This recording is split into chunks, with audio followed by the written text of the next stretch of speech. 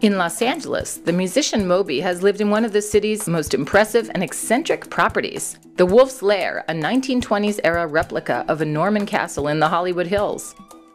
Back in New York, where he came from, he owned a four floor apartment at the top of the Eldorado building on Central Park West that had multiple turrets and terraces. That was the weirdest real estate I ever had, said Moby. The 49 year old musician, born Richard Melville Hall, is perhaps best known for his pioneering electronic dance music in the early 1990s. But today, just steps from Griffith Park, Moby can be found in this 3,800 square foot 1925 Los Feliz home. He bought it for $2.9 million last September. After years of living in exciting, flashy houses, what is the draw to this peaceful, traditional home? Moby's answer the pines.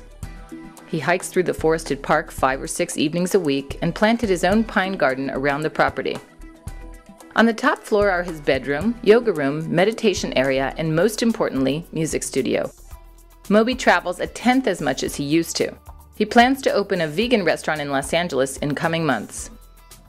Downstairs, rooms feature the things that matter to him his photography, art made by friends, vinyl collection, books, and empty space, as in this sunken living room he deliberately leaves unfurnished.